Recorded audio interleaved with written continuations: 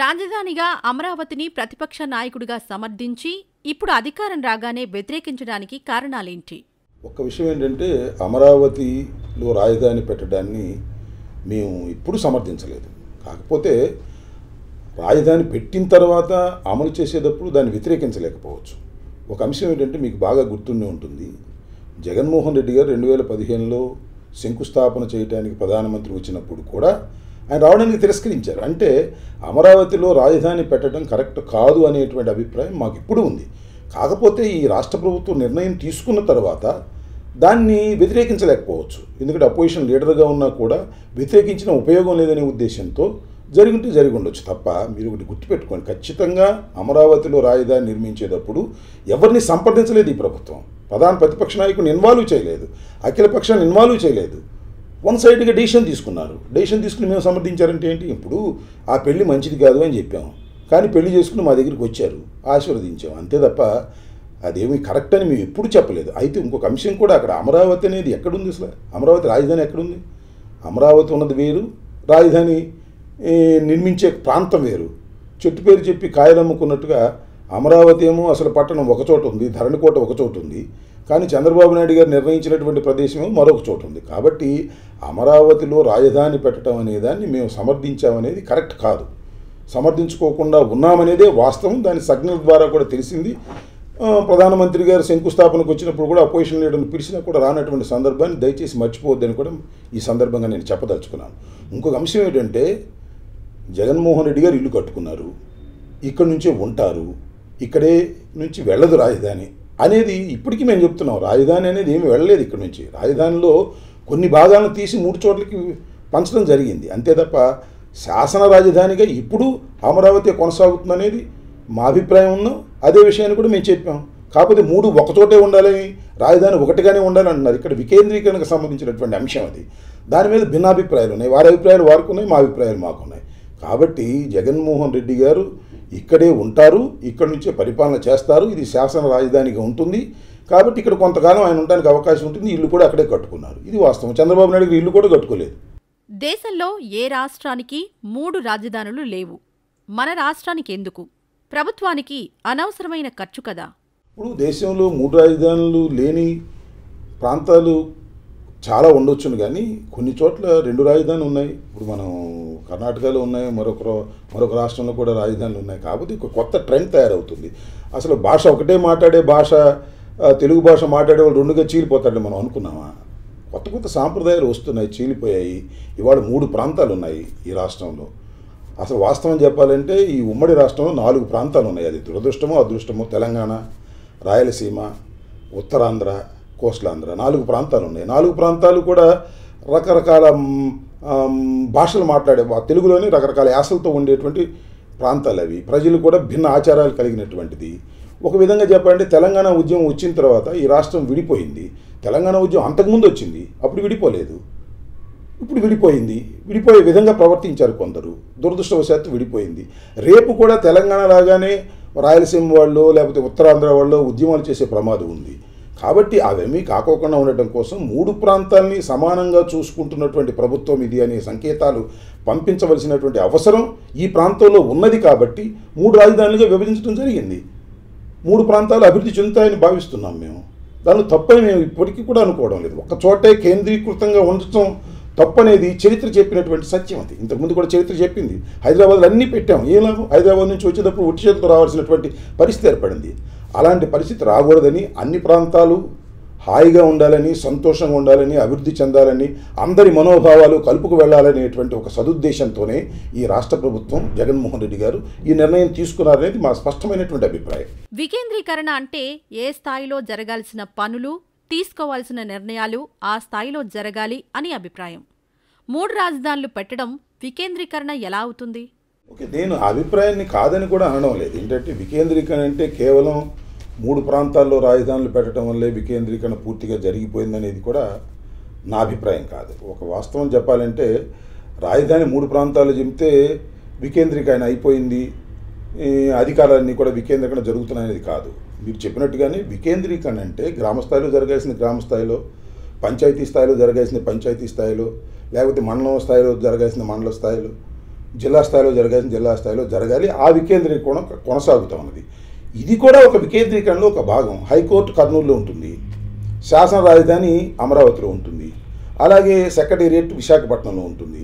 మూడు ప్రాంతాల్లోనూ దానికి సంబంధించినటువంటి కొంతమేరకు అభివృద్ధి జరుగుతుంది. పూర్తి అభివృద్ధి దీని మీద ఆధారపడి ఉండదు. కానీ అభివృద్ధికి దోహదం చేసేటటువంటి అంశాలు కూడా ఇవి అవుతాయి. ఈ మొత్తం వికేంద్రీకరణ జరుగుతుంది. దాంతోపాటు అభివృద్ధి జరుగుతుంది. దాంతోపాటు మూడు ప్రాంత ప్రజానీకం కూడా మేము భాగస్వాములం అయ్యామనేటువంటి ఒక సంతృప్తికరమైనటువంటి వాతావరణం కూడా కలుగుతుంది అనేదాన్ని సంపూర్ణంగా ఆలోచించి తీసుకున్నటువంటి నిర్ణయంగానే నేను భావిస్తున్నాను. అభివృద్ధి ఆర్థిక కార్యకలాపాల మీద ఆధారపడి ఉంటుంది. ఇప్పటికే విశాఖ అభివృద్ధి పోర్టు వల్ల ఉక్కు కర్మాగారం వల్ల జరిగింది. ప్రభుత్వ కార్యాలయాల వల్ల కాదు. అక్కడికి అడ్మినిస్ట్రేటివ్ క్యాపిటల్ మార్చడం ఎందుకు? అంటే విశాఖపట్నాన్ని అభివృద్ధి చేయటం కోసమే ఈ రాజధానిని అక్కడ మార్చారని అని నేను అనుకోవటం లేదు. అది కరెక్ట్ కాదు. అభివృద్ధి ఆల్రెడీ చెంది ఉన్నది అక్కడ. హైదరాబాద్ లాగానే విశాఖపట్నం కూడా అభివృద్ధి చెంది ఉంది. ఇంకో కాన్సెప్ట్ కూడా ఇక్కడ చెప్పాలి నేను. ఏంటంటే రాజధాని అంటే ఒక విడిపోయినటువంటి రాష్ట్రానికి రాజధాని నిర్మించవలసినటువంటి అవసరం ఉందని నేను అనుకోవడం లేదు. ఉన్న పట్టణాల్లో ఏది సూటబుల్గా ఉంటుందో దాన్ని రాజధానిగా ఎన్నుకోవాలి తప్ప ఒక కొత్త పట్టణాన్ని నిర్మించాలనేటువంటి కాన్సెప్ట్ ఉందే అది మన రాష్ట్రానికి తగింది కాదని నా అభిప్రాయం. ఒక కొత్తగా ఒక సృష్టి ఎందుకు చేయాలి? ఇప్పుడు మన రాష్ట్రంలో అనేక పట్టణాలు ఉన్నాయి అనేక ప్రాంతాలు ఉన్నాయి. ఒక మంచి పట్టణాన్ని రాజధానిగా సెలెక్ట్ చేసుకొని ఒక అసెంబ్లీ ఒక సెక్రటేరియట్టు అలాగే ఒక హైకోర్టు నిర్మిస్తే సరిపోతుంది. అంతేగాని అసలు మొత్తంగా ఒక ముప్పై మూడు వేల ఎకరాలు తీసుకుని దానిలో ఒక అద్భుతమైనటువంటి నగరాన్ని సృష్టించి అది రాజధాని అనాల్సిన అవసరం ఉందని నేను అనుకోవడం లేదు. అభివృద్ధి చెందుతున్నటువంటి దేశంలో ఒక పేద దేశంలో ఒక విడిపోయినటువంటి రాష్ట్రంలో ఆర్థిక వనరులు సక్రమంగా లేనటువంటి రాష్ట్రంలో ఒక పట్టణాన్ని అద్భుతమైన పట్టణాన్ని ఒక చికాగో లాంటి పట్టణాన్ని లేదా ఒక చైనాలో ఒక మహాపట్నం లాగా నిర్మిస్తాను అని చెప్పటం అనేది పెద్ద రుచికరమైనటువంటి అంశం కాదు. అందువల్ల నేనేమంటానంటే ఇవాళ విజయవాడ ఉంది. విజయవాడ ఒక పట్టణం. తిరుపతి ఒక పట్టణం. కర్నూలు ఒక పట్టణం. అదేవిధంగా విశాఖపట్నం ఒక పట్టణం. విశాఖపట్నం అభివృద్ధి చెందినటువంటి ప్రాంతం. అక్కడ రాజధాని పెడితే కనెక్టివిటీ బాగుంటుంది అనేది ఒక అంశం. దానిలో అందువల్ల శాసన రాజధాని ఇక్కడ పెట్టి అక్కడ పరిపాలనా రాజధాని అక్కడ పెట్టాలని అనుకున్నారు దానివల్ల విశాఖపట్నం ఏదో అభివృద్ధి చెందుతుంది కదా. అభివృద్ధి చెందినటువంటి ప్రాంతంలో పెట్టడం అనేది మా కాన్సెప్ట్. ఆ ప్రాంత ఆ రకంగా నిర్ణయం తీసుకున్నారు. అది మంచి నిర్ణయం అనేది నా అభిప్రాయం ఇప్పటికి కూడా. అమరావతి రాజధానిగా మీ రాజకీయ ప్రత్యర్థి పార్టీ తీసుకున్న నిర్ణయం. అందుకే మీరు రాజధాని మారుస్తున్నారు అనే నింద మీ మీద ఉంది. సరే నిందలు అనేక ఉంటాయి. ఇప్పుడు చంద్రబాబు నాయుడు గారు అపోజిషన్ ఉన్నారు కాబట్టి ఆయన ఓడిపోయారు కాబట్టి మేము గెలిచాం కాబట్టి ఆయన చేసిన నిర్ణయాలన్నింటినీ కూడా మేము మార్చేస్తున్నామని అందువల్ల ఈ రాజధాని ఇక్కడి నుంచి తీసుకెళ్తున్నామని విమర్శలు ఉంటే అవన్నీ అవాస్తవాలని నేను చెప్పదలుచుకున్నాను. ఖచ్చితంగా మేము రాజధానిని మూడు ప్రాంతాలకి పంచటం అనేది ఇవ్వల ఇవాళ ఈ రాష్ట్రానికి ఉన్నటువంటి పరిస్థితుల్లో ఇది మంచి ఫలితాలు ఇస్తుందనేటువంటి అభిప్రాయంతోనే ఆఫ్టర్ తరువు తరువుగా చర్చించిన తర్వాత బోస్టన్ కమిటీ వేసిన తర్వాత జిఎన్ రావు కమిటీ వేసిన తర్వాత వారి రిపోర్టును ఆధారం చేసుకొని మాత్రమే నిర్ణయించాం తప్ప ఇదేదో చంద్రబాబు నాయుడు గారు చేశారు కాబట్టి దాన్ని తీసి వదలబారేయండి అనేటువంటి ఉద్దేశం కానే కాదు. అలా ప్రచారం జరుగుతున్నమాట వాస్తవం. అది కేవలం ప్రచారం చేసి మమ్మల్ని దెబ్బతీయడం కోసం చేస్తున్నటువంటి పరిస్థితి తప్ప మరొకటి కాదనేది నా అభిప్రాయం. అమరావతిలో ఇన్సైడెడ్ ట్రేడింగ్ అవినీతి జరిగింది అని మీరు పదే పదే అంటున్నారు. ఇప్పుడు మీరు అధికారంలో ఉన్నారు. అవినీతికి పాల్పడిన వారిపై విచారణ చేసి చర్యలు తీసుకోవాలి కానీ రాజధానిని మారుస్తారా? ఇన్సైడర్ ట్రేడింగ్ జరిగింది కాబట్టి ఇక్కడ నుంచి రాజధానిని మూడు భాగాలు చేసి పంపుతున్నాము అనేటువంటి అభిప్రాయం ఉంటే దాన్ని సరి చేసుకోండి. అది కరెక్ట్ కాదు. ఇన్సైడర్ ట్రేడింగ్ జరిగి ఉంటే వాళ్ళ మీద ఖచ్చితంగా ఎంక్వైరీ జరుగుతుంది దాని మీద యాక్షన్ తీసుకుంటాం. దానివల్ల రాజధాని మారుస్తున్నాం అనేది సరైన అభిప్రాయం కాదు. రాజధానిని మార్చడానికి గల కారణాలు నేను చెప్పాను ఇంతకుముందు చెప్పాను. బోస్టన్ కమిటీ రిపోర్ట్ కానివ్వండి జిఎన్ రావు గారి రిపోర్ట్ కానివ్వండి దాన్ని దృష్టిలో పెట్టుకొని రాజధాని మూడు ప్రాంతాలకి మేము తరలించేటటువంటి కార్యక్రమం చేస్తున్నాం తప్ప ఇన్సైడర్ ట్రేడింగ్ జరిగి ఉంటే దాని మీద యాక్షన్ తప్పనిసరిగా తీసుకుంటాం అనేది చెప్పాం. దాని మీద ఎంక్వైరీ జరుగుతుంది. సిబిఐ ఎంక్వైరీ వేయాలని కూడా మేము అడుగుతున్నాం. కేంద్ర ప్రభుత్వం కూడా దాన్ని యాక్సెప్ట్ చేస్తుందని మేము భావిస్తున్నాం. ఇంకొక అంశాన్ని ఇక్కడ నేను చాలా స్పష్టంగా చెప్పదలుచుకుంది ఏంటంటే ఇవాళ ఉద్యమం పేరుతో కొంతమంది ఏదో నాటకం ఆడుతున్నారు అంటే ఈ ఇన్సైడర్ ట్రేడింగ్లో పాల్గొన్నటువంటి వ్యక్తులు వారు చేస్తున్నటువంటి ఉద్యమమే తప్ప ఇది సామాన్య ప్రజలకి రైతులకి సంబంధించినటువంటి ఉద్యమం కాదని చెప్పేటటువంటి క్రమంలోనే ఇన్సైడ్ ట్రేడింగ్ గురించి మేము మాట్లాడుతున్నాం. ఖచ్చితంగా ఇన్సైడ్ ట్రేడింగ్ జరిగిందనేదే మా అభిప్రాయం మా అభియోగం కూడా. దాని మీద ఖచ్చితంగా ఎంక్వైరీ చేస్తాం. ఎంక్వైరీ జరుగుతుంది. ఇన్సైడ్ ట్రేడింగ్ చేసిన వారి మీద అందరి మీద యాక్షన్ తీసుకోవడం జరుగుతుంది. అది అలా కొనసాగుతుంది. అది ఒక పక్కన కొనసాగుతుంది. అంతే తప్ప ఇన్సైడ్ ట్రేడింగ్ చేశారు కాబట్టే రాజధానిని మేము మారుస్తున్నాము రాజధానిని మూడుగా చేస్తున్నాము అనే మాట వాస్తవం కాదు. రాజధాని నిర్మాణానికి కేంద్రం ఇవ్వాల్సిన డబ్బు ఇచ్చేసింది. ఇంకా కేంద్రం నుంచి రావాల్సింది ఏమీ లేదు. మరి ఇప్పుడు కొత్త భవనాలు సదుపాయాలు ఎలా కడతారు? డబ్బులు ఎక్కడి నుంచి తెస్తారు? ఇప్పుడు కేంద్రం ఇచ్చినటువంటి డబ్బుతో ఏం కట్టారని నాకు అర్థం కాలేదు. నాకు అనిపిస్తున్నట్టు ఒకటి రెండు శాశ్వత భవనాలు తప్ప అన్ని తాత్కాలికమైనవి కదా. అక్కడ సెక్రటేరియట్ తాత్కాలికం అసెంబ్లీ తాత్కాలికం హైకోర్టు తాత్కాలికం. అసలు తాత్కాలికంగా నిర్మాణాలు చేసి ఎందుకు అమరావతికి రావాలి? ఇది పెద్ద తప్పిదం. చంద్రబాబు నాయుడు గారు చేసినటువంటి పెద్ద తప్పిదం. పది సంవత్సరాల పాటు ఉమ్మడి రాజధానిలో ఉండి పరిపాలన చేసుకునేటటువంటి హక్కుని మనకు విభజన చట్టం కలిగిస్తే తాత్కాలికంగా రాజధానులు నిర్ణయించవలసిన అవసరం తాత్కాలికంగా బిల్డింగులు కట్టవలసిన అవసరం వృధా చేయటం ఎందుకు? ఇవాళ కేంద్రం ఇచ్చిన సహాయాన్ని ఎక్కడ పోశారండి? ఏమి నిర్మాణం జరిగిందండి? ఏమి జరగలేదే? అన్ని తలాకు పప్పు బెల్లలాగా పంచుకున్నటువంటి సందర్భాలే కనిపిస్తూ ఉన్నాయి. అన్ని అసంపూర్తి నిర్మాణాలుగా మిగిలిపోయాయి. కాబట్టి కేంద్రం ఇచ్చినంత గంగపాలు చేశారు. తెలుగుదేశం పార్టీకి సంబంధించిన వారే దానిలో స్కాములు చేసి మింగేసినటువంటి వైనం మనకు తెలుస్తూ ఉన్నది తప్ప కేంద్రం ఇచ్చినటువంటి ధనాన్ని సద్వినియోగం చేసి రాజధాని నిర్మాణాన్ని ఒక దశకు తీసుకొచ్చినటువంటి సందర్భం ఎక్కడా కనిపించడం లేదు ఇవాళ అమరావతి. మొత్తం తిరిగినా కూడా కనిపించదు. ఉన్న గ్రాఫిక్స్లో మనకు కనిపిస్తుంది తప్ప ఎక్కడా కూడా పర్మనెంట్ బిల్డింగ్స్ కనిపించినటువంటి పరిస్థితి లేదు. ఒకటి రెండు పర్మనెంట్ బిల్డింగ్లు తప్ప. అవే పెద్ద పెద్దగా టీవీలో చూపించి దానికి గ్రా గ్రాఫిక్స్ యాడ్ చేసి అద్భుతంగా తయారైంది అమరావతి అంటున్నారు తప్ప అమరావతిలో అభివృద్ధి లేనటువంటి పరిస్థితి వాళ్ళకి కనిపిస్తుంది. కేంద్రం ఇచ్చినటువంటి ప్రతి పైసాని దుర్వినియోగం చేశారు. అది మా అభిప్రాయం. అందువల్ల కేంద్రం తర్వాత ఇవ్వకపోయినా అసలు నేను అంటాను ఇవాళ విశాఖపట్నంలో మేము సెక్రటేరియట్ పెట్టాము. బిల్డింగ్స్ కడితే సరిపోతుంది ఇంకేం అక్కడ రోడ్లు వేయాల్సిన అవసరం లేదా మరొకటి భూములు సేకరించవలసిన అవసరం లేదే. అలాగే కర్నూలులో హైకోర్టు నిర్మాణం చేసి సరిపోతుంది ఎంత అవుతుంది ఈ ఫండ్స్ దానికి?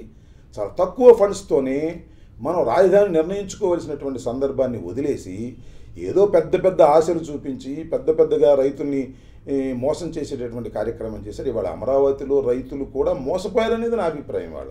ముప్పై మూడు వేల ఎకరాలు ఇచ్చి ఏం చేసుకుంటారు? అంత పెద్ద రాజధాని ఏం చేసుకుంటారు? కొత్త నిర్మాణం ఏం చేస్తారు? డబ్బులు ఎక్కడివి? ఎక్కడి నుంచి తీసుకురావాలి ఈ రాష్ట్రంలో? ఈ దేశంలో? సో చంద్రబాబు నాయుడు గారు ఏదో ఒక వింత ధోరణితో ఈ రాజధాని గురించి అనేక కట్టుకథలు చెప్పి ప్రజల్ని మోసం చేశారు రైతులను మోసం చేశారు. అందువల్లనే ఆయన్ని డిపాజిట్లు కూడా లేనటువంటి పరిస్థితికి తీసుకొచ్చి ఓటమి పాలు చేసినటువంటి సందర్భం కూడా మనకు కనిపిస్తూ ఉన్నది. అక్కడ దాకా ఎందుకు? రాజధాని ప్రాంతంలోనే ఆయన ఓటమి పాలయ్యాడు. రాజధాని ప్రాంతంలోనే వాళ్ళ కుమారుడు ఓటమి పాలయ్యారు. అంటే ప్రజలు ఖచ్చితంగా రాజధాని మీద చంద్రబాబు నాయుడు గారి వైఖరిని తీవ్రంగా ఖండించారని చెప్పడానికి ఎన్నికల రిజల్ట్సే దానికి ప్రధానమైనటువంటి తార్కాణంగా కనిపిస్తూ ఉన్నది. హైకోర్టును అమరావతిలో ఏర్పాటు చేయడం సుప్రీంకోర్టు నిర్ణయం. అది తిరగరాయడం సాధ్యం కాదు అంటున్నారు. కర్నూలుకు ఎలా తీసుకొస్తారు? సుప్రీంకోర్టు పర్మిషన్ ఇస్తే ఎందుకు తీసుకురాకూడదు? పర్మిషన్కి లోబడే కదా సుప్రీంకోర్టు పర్మిషన్ కావాలి. హైదరాబాద్ నుంచి సారీ మన అమరావతి నుంచి కర్నూలుకి రాజధానిని మన హైకోర్టును మార్చాలి అంటే ఖచ్చితంగా సుప్రీంకోర్టు పర్మిషన్ కావాలి. సుప్రీంకోర్టు పర్మిషన్ ఇస్తుందనే ఆశతోనే మేము ఇది ప్రయత్నం చేస్తున్నాం. ఇవ్వకపోతే ఏమిటని తర్వాత ఆలోచన చేద్దాం తప్ప ఖచ్చితంగా కర్నూలు ఇక్కడ నుంచి రాజధాని మార్చాలి అంటే సుప్రీంకోర్టు యొక్క పర్మిషన్ కావాలి. ఆ పర్మిషన్ అప్టైన్ చేయగలుగుతామనేటువంటి ఉద్దేశంతోనే ఈ నిర్ణయం తీసుకున్నాం. నిర్ణయం తీసుకున్న తర్వాత ఇది కోర్టు వ్యాజ్యాల్లో పడింది. అది నిర్ణయం జరిగిన తర్వాత సుప్రీంకోర్టు యొక్క ఆదేశం మేరకి తప్పనిసరిగా ముందుకు కదులుతాం. విశాఖలో అడ్మినిస్ట్రేటివ్ క్యాపిటల్ పెట్టమని ఎవరు అడిగారు? అక్కడి శాంతియుత వాతావరణం దెబ్బతింటుందని అనేక మంది విశాఖవాసులు అంటున్నమాట. అంటే ఏంటి? నాకు అర్థం కాదు. కొంతమంది ఎవరో మీరు అంటున్నట్టుగా విశాఖలో శాంతియుత వాతావరణం దెబ్బతింటుందంటే రాజధాని ఉంటే అక్కడ శాంతియుత వాతావరణం దెబ్బతింటుందని ఎవరిదన్న అభిప్రాయమా? అలా కావడానికి వీల్లేదే. ఎవరు అడగాల? మాకు ఇక్కడ పలానా చోట కావాలి అని డిమాండ్ చేయాలా? ఉద్యమం చేయాలా? అమరావతిలో కావాలని ఎవరు ఉద్యమం చేశారు చెప్పండి. ఉద్యమాలు చేయాల్సిన అవసరం లేదు డిమాండ్ చేయాల్సిన అవసరం లేదు. రాష్ట్రానికి ఎక్కడ సానుకూలమైనటువంటి వాతావరణం ఉంటుందో అక్కడ సెక్రటేరియట్ పెట్టుకోవాలనేటువంటి అభిప్రాయంతో మేము ఉన్నాం కాబట్టి అక్కడ సెక్రటేరియట్ పెట్టాలని నిర్ణయం తీసుకున్నాం. రాజధాని ఆల్రెడీ అసెంబ్లీ ఇక్కడ పెట్టారు కాబట్టి ఇక్కడ శాసన రాజధానిగా ఉండాలనుకున్నాం. కర్నూలు హైకోర్టు బాగుంటుందని ఎందుకంటే కర్నూలులో మీకు తెలుసు ఇంతకుముందు రాష్ట్రం విడిపోయినప్పుడు మెడ్రాస్ నుంచి విడిపోయినప్పుడు కర్నూలు రాజధానిగా కొంతకాలం ఉందండి. వాస్తవం కదా అది చరిత్రలో? అంటే కర్నూలే రాజధాని కావాల్సింది ఆ రోజున. ఆ రోజున రాష్ట్రం విశాలాంధ్రగా ఏర్పడకపోయినట్లయితే కర్నూలు రాజధానిగా ఇవాళ ఆంధ్రప్రదేశ్ ఉండేది. కానీ ఆ కర్నూలు వాసులకి ఆ రకమైన నొప్పి ఒకటి ఉన్నది బాధ ఒకటి ఉన్నది. వారి బాధను తీర్చేందుకే అక్కడ హైకోర్టు పెట్టడానికి ప్రయత్నం చేస్తున్నాం. తప్పెలా అవుతుంది అన్ని ప్రాంత ప్రజానీకాన్ని సమానంగా చూసుకోవాల్సినటువంటి బాధ్యత కలిగినటువంటి ప్రభుత్వం వ్యవహరిస్తూ ఉంటే ఇది తప్పని రాయలసీమకి ఇవ్వకూడదని లేకపోతే ఉత్తరాంధ్రకి ఇవ్వకూడదని మాట్లాడడం అనేది ఒక విధంగా చెప్పాలంటే ఆంధ్ర ప్రజలకు ద్రోహం చేసిన వాళ్ళు అవుతారు ఎవరైనా అలా మాట్లాడితే ఇది మా అభిప్రాయం. విశాఖలో అడ్మినిస్ట్రేటివ్ క్యాపిటల్ పెడితే అక్కడ అంత పెద్ద జనాభాకు సరిపడా నీటి వనరులు లేవని పర్యావరణవేత్తలంటున్నారు. ఇవన్నీ ఒకటండి. నీటి వనరులు అక్కడ లేవు సౌకర్యాలు లేవు. సౌకర్యాలు క్రియేట్ చేసుకుంటాం. అదేం పెద్ద విషయం ఎలా అవుతుంది? అంత పెద్ద మహాపట్టణంగా ఇవాళ మొత్తం ఆంధ్ర రాష్ట్రంలో పదమూడు జిల్లాల్లో పెద్ద పట్టణం ఏదండి? ఖచ్చితంగా విశాఖపట్నం. ఎందుకు విశాఖపట్నం అంతగా పెరిగింది? ఏమి వనరు లేకపోతే ఎందుకు దాని అంతటా అంతగా అభివృద్ధి చెందింది? ఖచ్చితంగా అక్కడ వనరులు ఉన్నాయి. ఏదో కొన్ని వనరులు లేకపోవచ్చు. ఆ వనరులు క్రియేట్ చేసుకుంటాం. వాటర్ లేకపోవచ్చు. సముద్రం ఒడ్డు కాబట్టి వాటరు భూగర్భ వాటర్ కూడా సెలినిటీ ఉంటుంది కాబట్టి వాటర్ ఉండకపోవచ్చు. మేము తీసుకుంటాం. గోదావరి నుంచి తీసుకుంటాం. తప్పే ఉంది దానిలో? అదేం పెద్ద విషయమేమి కాదు. రాజధానిలో ఒక సెక్రటేరియట్ అక్కడ పెడుతున్నప్పుడు దానికి వాటర్ లేదనేటువంటి వంకో ఫెసిలిటీస్ లేదనే వంకో కరెక్ట్ కాదు. అది ఒక మహాపట్టణంగా తీర్చిదిద్దబడింది ఇంతకు ముందే కాబట్టి దాన్ని అక్కడ అయితే బాగుంటుంది సెక్రటేరియట్ అనేటువంటి భావనతో నిర్ణయం తీసుకున్నాం. ఇవన్నీ కూడా ఎవరన్నా చెప్పినా కూడా అది కుంటి సాకులుగా చెప్పి మా వాదనను నీరుగార్చడం కోసం చెప్పేటటువంటి వాదనలే తప్ప ఆ వాదనలో వాస్తవాలు లేనే లేవు. అమరావతిలో నిర్మాణాలు స్తంభించాయి. మరో చోట మొదలు కాలేదు. ఇలానే కొనసాగితే మీ ఐదు సంవత్సరాల కాలంలో కూడా రాష్ట్రానికి రాజధాని భాగ్యం కలగకపోవచ్చు. చూద్దామండి. మా ఉద్దేశం అయితే అది కాదు. మీరు చెప్పిన దానిలో కొత్త రాజధాని ఏర్పాటు చేయడానికి అంటే ఐ మీన్ సెక్రటేరియట్ చేయడానికి హైదరాబాద్ సారీ um, కర్నూలులో హైకోర్టు నిర్మాణాలు ఇంకా చేపట్టలేదు. దానికి కారణం ఏంటి? ఖచ్చితంగా తెలుగుదేశం పార్టీకి సంబంధించిన వాళ్ళు వ్యతిరేకించే వాళ్ళు కోర్టులకు వెళ్ళి వ్యాజ్యాలు చేశారు. వ్యాజ్యాల వల్ల డిలే అవుతున్న మాట వాస్తవం. అవి తేలేదాకా మేము ముందుకు వెళ్ళడానికి వీలైనటువంటి ఒక న్యాయపరమైనటువంటి చిక్కులు ఉన్నాయి అందువల్ల న్యాయపరమైనటువంటి చిక్కులు ఉన్నాయి కాబట్టి మా నిర్ణయాన్ని మార్చుకోవాల్సిన అవసరం ఉందని నేను అనుకోవడం లేదు. సరే మీరందరూ అనుకోవచ్చు ఐదు సంవత్సరాలకి ఈ రాష్ట్రంలో జగన్మోహన్ రెడ్డి గారు ముఖ్యమంత్రిగా ఎన్నిక కాబడ్డారని నా వ్యక్తిగత అభిప్రాయం ప్రజల అభిప్రాయం నాలుగు సంవత్సరాలకు కాదు. మళ్ళా మళ్ళా కూడా జగన్మోహన్ రెడ్డి గారే ముఖ్యమంత్రి అవుతారని విశ్వాసం మాకుంది. ఖచ్చితంగా ఈ లీగల్ ఇష్యూస్ని లేకపోతే వచ్చేటటువంటి ఇబ్బందులు ఒక నిర్ణయం తీసుకున్నప్పుడు సహజంగా కొన్ని ఇబ్బందులు వస్తాయి. ఆ ఇబ్బందులను అధిగమిస్తూ ముందుకు వెళ్ళాల్సినటువంటి బాధ్యత కూడా మా మీద ఉంటుంది. ఆ ఇబ్బందులు వచ్చాయి కాబట్టి వెనక్కి తిరిగి వచ్చేటటువంటి ప్రశ్న ఉద్భవించదు. ఏ ప్రభుత్వం అయినా సరే అలా నిర్ణయాలు తీసుకుని కొద్దిగా ఇబ్బందులు వస్తే వెనక్కి రావాల్సిన అవసరం లేదు. లాజికల్ ఎండ్ వచ్చేంత వరకు కూడా ఫైట్ చేస్తాం. ఆ ఎండ్ తర్వాతే మా నిర్ణయాలు కూడా మేము ఇంప్లిమెంట్ చేస్తాం. ఖచ్చితంగా ఇది సాధ్యమైనంత వరకు ఇదేదో అమరావతిలాగా సుదీర్ఘకాలం నిర్మాణాలు చేపట్టేటటువంటి ప్లాన్ ఆఫ్ యాక్షన్ కాదు మాది. విశాఖపట్నంలో సెక్రటేరియట్ అంటే within one year we can create అలాగే కర్నూలులో రా హైకోర్టు అంటే within one year we will create అంతే తప్ప ఏదో పెద్ద పెద్ద నిర్మాణాలు నవనగరాలు ఇట్లాంటి గ్రాఫిక్స్ మాటలు చెప్పేటటువంటి పరిస్థితి. ఆల్రెడీ విశాఖపట్నం డెవలప్ అయిపోయినటువంటి ప్రాంతం. రాజధాని అంటే రాజధాని అయిపోతుంది అంతే తప్ప పెద్ద పెద్ద నిర్మాణాలు పెద్ద పెద్ద రోడ్లు కోటాను కోట్ల రూపాయలు ఖర్చు పెట్టి వేయవలసినటువంటి అవసరం లేదు. మా ప్లాన్ ఆఫ్ యాక్షన్ మూడు ప్రాంతాలని సమంగా చూసుకునేటటువంటి పరిస్థితుల్లో చేసేటటువంటి సుదీర్ఘకాలం దీని మీద ఇన్వెస్ట్ చేయాల్సిన అవసరం లేదు. సుదీర్ఘకాలం దీనికి పని చేయాల్సిన అవసరం లేదు. విత్ ఇన్ వన్ ఇయర్లో we can create infrastructure in in three areas also దక్షిణాఫ్రికాలో మూడు రాజధానులు అక్కడి ప్రభుత్వంపై అదనపు ఆర్థిక భారం మోపిందని అక్కడి నిపుణుల అభిప్రాయం. ఫెయిల్డ్ ఎక్స్పెరిమెంట్ని ఆదర్శంగా తీసుకుంటారా? ఇవన్నీ కూడా అటాటా అనే మాటలే తప్ప ఇప్పుడు దక్షిణాఫ్రికా ఒక దేశం ఆంధ్ర రాష్ట్రం ఒక దేశం ఏం కాదు. దక్షిణాఫ్రికాలో అది ఇంప్లిమెంట్ చేశారు సక్సెస్ అయిందనేటువంటి మార్గం ఒకవైపు నడుస్తుంది. దాన్ని పునరాలోచిస్తున్నారనే వాదనలు మరొక వైపున వినిపిస్తూ ఉన్నాయి. నేను అనేది ఏమిటంటే ఈ రాష్ట్రంలో విడిపోయినటువంటి ఈ రాష్ట్రంలో మూడు ప్రాంతాల్లో మూడు పెట్టడం అనేది ఒక సమతమూల్యాన్ని అర్థంగా వస్తుంది. కాబట్టి ఖచ్చితంగా ఇది కరెక్ట్ అనేది నా అభిప్రాయం. ఇది ఫెయిల్ అవుతుందంటే ఎందుకు ఫెయిల్ అవుతుంది? ఫెయిల్ అవ్వాల్సిన అవసరం ఏముంది దీనిలో? మనం వెనుకబడినటువంటి రాష్ట్రంగానే వెనుకబడిన దేశంగానే మనం భావిస్తున్నాం. ఫండ్స్ ప్రాబ్లం ఉన్నది ఇన్వెస్ట్మెంట్ చేయడానికి డబ్బులు లేనటువంటి పరిస్థితి ఉంది. కేంద్రం దగ్గర కానీ రాష్ట్రం దగ్గర కానీ కాబట్టి పెద్ద పెద్ద నగరాలు నిర్మించవలసినటువంటి అవసరం లేదని లేదా మూడు ప్రాంతాల్లో మూడు భాగాలుగా విభజించి చేయటం వల్ల కూడా నష్టం జరగదనేది నా అభిప్రాయం. ఇంకొక అంశం కూడా ఏమిటంటే రాజధాని అనేది ఎంతమందికి అవసరం అవుతుందండి? ప్రజలకు రోజు రాజధానికి వెళ్ళాల్సిన అవసరం ఎంతమందికి వస్తుంది? లెక్కేస్తే చాలా తక్కువ మందికి మాత్రమే వస్తుంది. పైగా ఇంకోటి ఏంటంటే మేము విలేజెస్లో కూడా సెక్రటేరియట్లు నిర్మాణం చేస్తున్నాం. అంటే గ్రామాల్లోనే పరిపాలన చేయాలి అనేటువంటి దృక్పథం. జిల్లా స్థాయిలోనే అన్ని పరిపాలన జరిగిపోతుంది. ఏదో హైకోర్టుకు వెళ్ళేవాళ్ళు లేదా సెక్రటేరియట్లో ఏదో కొన్ని పనుల కోసం వెళ్ళేవాళ్ళు తప్ప శాసనసభ అంటే శాసనసభకు వచ్చేవాళ్ళు ఎందుకు శాసనసభ చూడటానికి ఏం జనం రారు కదా. కొంతమంది వస్తారు ఎమ్మెల్యేస్ వస్తారు ఆఫీసర్స్ వస్తారు. కాబట్టి దీనివల్ల పెద్దగా ఇబ్బందికరమైనటువంటి వాతావరణం ఏర్పడుతుందనేది ఒక ఊహ తప్ప లేదా కొంతమంది దీన్ని వ్యతిరేకించే వాళ్ళు చెప్పేటటువంటి భాష్యం తప్ప మరొకటి కాదనేది మా అందరి అభిప్రాయం కూడా. రాజధానిని మార్చాలంటే భూమి ఇచ్చిన రైతులకు నష్టపరిహారం ఇచ్చి మార్చాలని ఒకవేళ కోర్టు అంటే వేల కోట్ల భారాన్ని రాష్ట్ర ప్రభుత్వం భరించగలదా? ఇప్పుడు ఒక విషయం ఇక్కడ. రాజధాని ఈలో ఒక భాగాన్ని ఇక్కడ నుంచి మరొక చోటకు తరలించేటటువంటి కార్యక్రమం జరిగినప్పుడు రైతులకి కొంత ఇబ్బంది కలిగే మాట ఇది వాస్తవం. ఇది చర్చించవలసినటువంటి అవసరం ఉన్నది. దీని మీద నిర్ణయాలు తీసుకోవాల్సినటువంటి అవసరం కూడా ఉన్నది. ఇక్కడ ప్రభుత్వం తీసుకునేటటువంటి నిర్ణయాల వలన రైతులు బాధపడకూడదు. దానిలో మేము ఖచ్చితంగా దాన్ని ఏకీభవిస్తాం. రైతులతో డిస్కస్ చేస్తాం. రైతుల సమస్యలు ఏమున్నాయో వాటిని పరిష్కరించడానికి ప్రయత్నం చేస్తాం. రైతులు చాలా పెద్ద ఎత్తున వ్యతిరేకించారు మొట్టమొదట. తర్వాత చంద్రబాబు నాయుడు గారు తెలుగుదేశం పార్టీ ప్రభుత్వం చాలా ఆశలు చూపించారు వాళ్ళకి. అద్భుతాలు జరగబోతున్నాయని చెప్పారు. అద్భుతాలు జరగటం వల్ల ఎకరం ఐదు కోట్లు ఆరు కోట్లు పది కోట్లు అమ్ముతాయని చెప్పారు. మీకు సైట్స్ ఇస్తామని చెప్పారు. ఒక అద్భుతమైనటువంటి కథ వారి ముందు ప్రదర్శించారు. దాంతో వాళ్ళు నిజమేననుకుని ఆశపడి రైతులు ఇచ్చారు. ఇవాళ ఇక్కడి నుంచి వెళ్ళిపోతుంటే ఒక భాగం వెళ్ళిపోతుంటే తమ రైతుల యొక్క భూముల విలువలు అమాంతం తగ్గిపోతాయని. వారు ఊహించిన రేట్ల కన్నా కూడా గణనీయంగా తగ్గిపోయి అవస్థ పడతామనేటువంటి ఉద్దేశంతో ఇవాళ రైతులు బాధతో ఉన్నారు.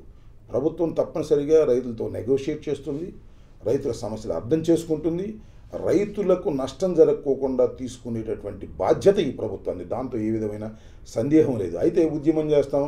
మేము జగన్మోహన్ రెడ్డి గారి మీద డౌన్ డౌన్ కొడతాం. రకరకాల పోస్టింగ్లు పెడతాం అని అంటే మాత్రం ఇది రైతులు చేసే పని కాదు అది. ఇది రైతుల పేరుతో కొంతమంది చేస్తున్నటువంటి ఉద్యమంగా భావించవలసి ఉంటుంది. నిజమైన రైతుకి ఖచ్చితంగా అమరావతిలో అన్యాయం జరగదు ఈ ప్రభుత్వంలో. ఇది రైతు పక్షపాత ప్రభుత్వం. ఈ ప్రభుత్వం వచ్చిన తర్వాత రైతుల కోసం ఏ రకమైనటువంటి స్కీమ్స్ పెట్టి జగన్మోహన్ రెడ్డి గారు పరిపాలన చేస్తున్నారు? మీరు అందరూ చూస్తున్నారు. కాబట్టి అమరావతిలో భూములిచ్చిన రైతులకు న్యాయమే జరుగుతుంది తప్ప అన్యాయం జరగదు. ఒక సెక్రటేరియట్ ఇక్కడి నుంచి వెళ్ళిపోయినంత మాత్రాన హైకోర్టు ఇక్కడి నుంచి వెళ్ళిపోయినంత మాత్రాన వారికి ఏదో నష్టం జరుగుతుందనేటువంటి భ్రమం నుంచి బయటకు రావాల్సిన అవసరం ఉన్నది. ప్రభుత్వంతో నెగోషియేట్ చేయవలసిన పరిస్థితి ఉంది. ప్రభుత్వం ఎప్పుడు తలుపులు తెరిచే ఉంది. రండి రైతులు మాట్లాడండి ప్రభుత్వంతో. మీ సాధక బాధకులు చెప్పండి మీకు జరిగే నష్టాన్ని చెప్పండి. ఆ నష్టాన్ని పూరించడానికి ఈ ప్రభుత్వం తప్పనిసరిగా పనిచేస్తుంది. దానికి ఏమీ సుప్రీంకోర్టు హైకోర్టులో ఆదేశించవలసినటువంటి అవసరం లేదు. రైతులకు ఖచ్చితంగా నష్టం జరగకోకుండా ఈ ప్రభుత్వం చూసుకుంటుందని ఈ సందర్భంగా నేను చెప్పదలుచుకున్నాను. ప్రభుత్వం నియమించిన జీకే రావు కమిటీ ఎక్కడా తిరిగినట్టు కానీ అధ్యయనం చేసినట్టు కానీ దాఖలాలు లేవు. ఇది ఇది చంద్రబాబు నాయుడు గారు తెలుగుదేశం పార్టీ వారు లేదా కొంతమంది ఇన్సైడర్ ట్రేడింగ్ చేసిన వాళ్ళు ఇన్సైడర్ ట్రేడింగ్ చేసిన వాళ్ళు చెప్పేటటువంటి మాటలు ఆరోపణలు తప్ప ఖచ్చితంగా జిఎన్ రావు కమిటీ పూర్తిగా తిరిగింది. వాస్తవాలు తెలుసుకున్నారు. ఆ రిపోర్ట్ను ఆధారంగా చేసుకుని మేము దీన్ని డివైడ్ చేయడానికి కూడా పూనుకున్నాము. ఇవన్నీ కావాలని చేసేటటువంటి ఒక అసత్య ప్రచారాలుగానే భావించాలి తప్ప వాస్తవం కానే కాదు. Mm-hmm.